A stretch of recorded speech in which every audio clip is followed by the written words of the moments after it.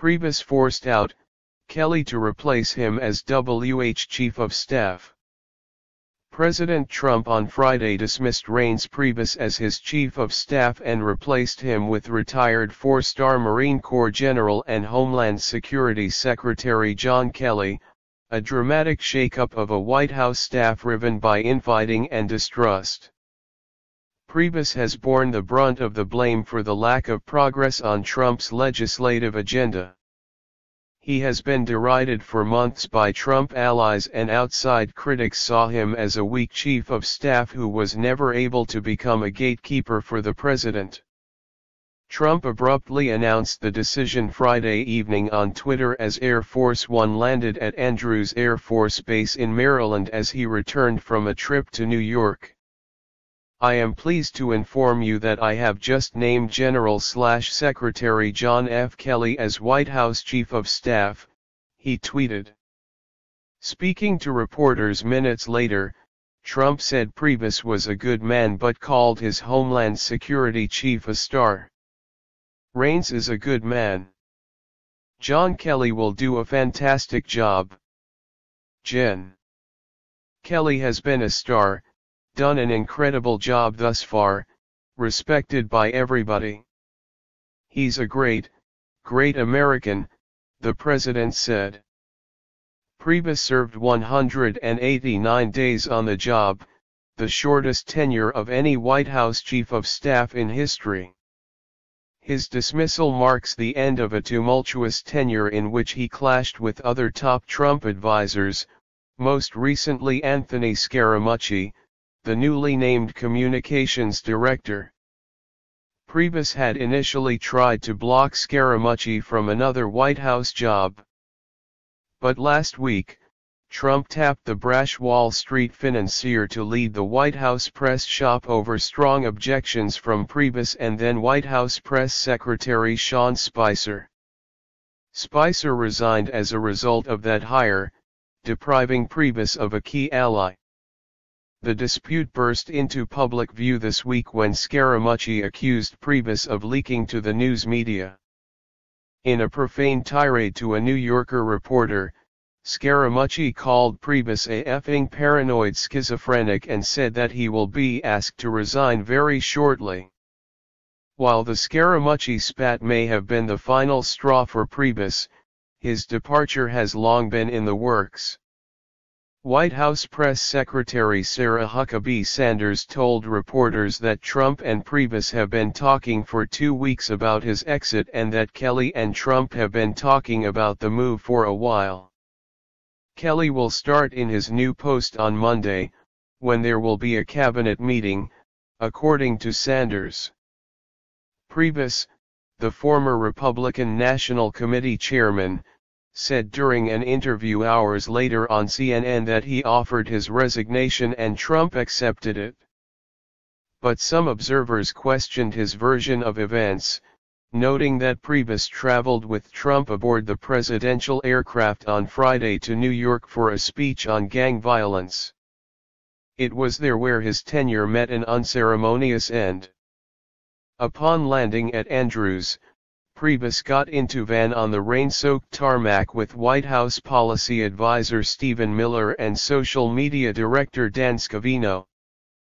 But shortly after, the two men exited the van and left Priebus alone, according to a reporter at the base.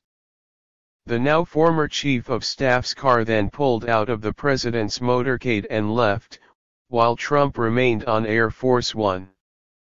Priebus offered nothing but kind words for Trump despite his exit. I'm always going to be a Trump fan, I'm on Team Trump, Priebus told CNN's Wolf Blitzer. I think the president wanted to go a different direction. I support him in that.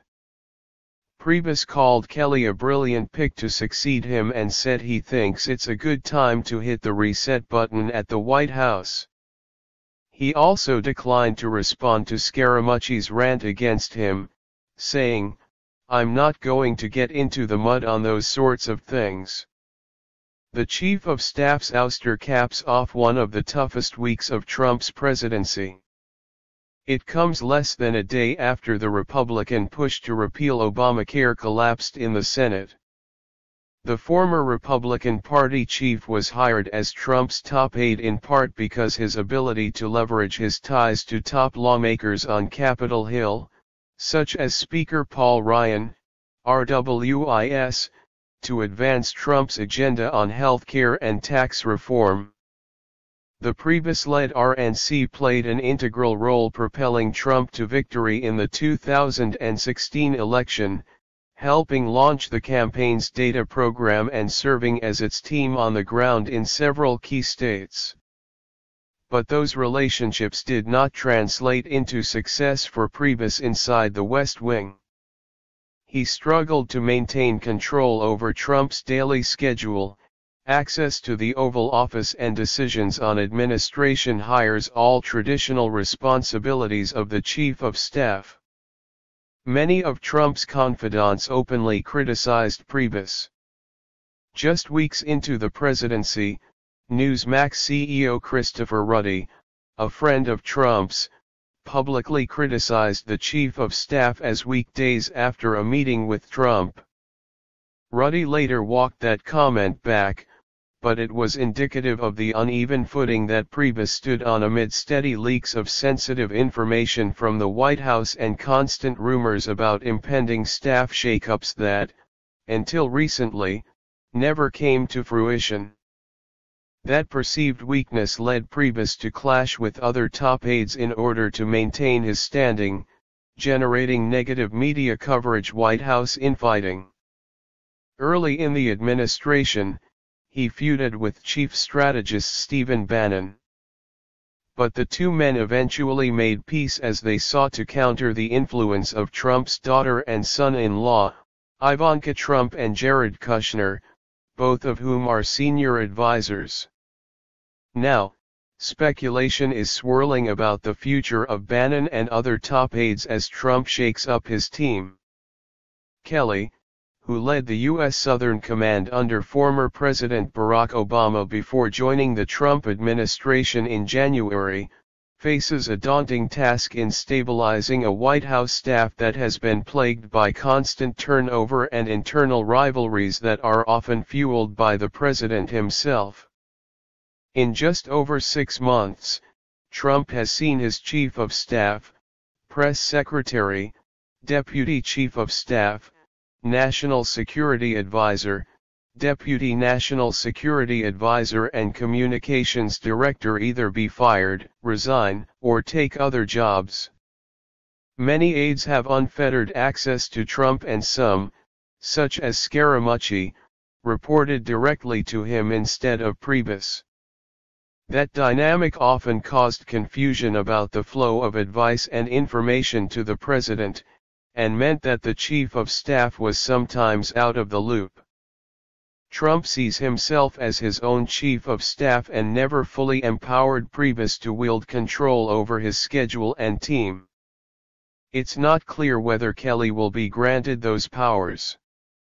Priebus' exit also raises questions about Trump's relationship with the Republican Party moving forward he brought a number of former RNC staffers over to the White House when he joined the administration.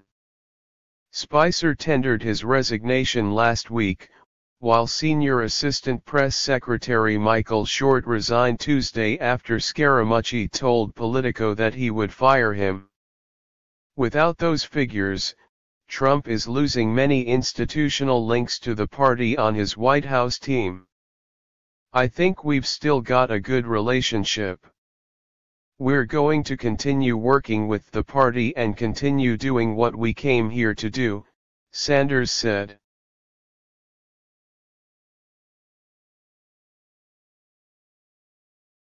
Thanks for watching. Please subscribe my STC News channel. Goodbye and see you again.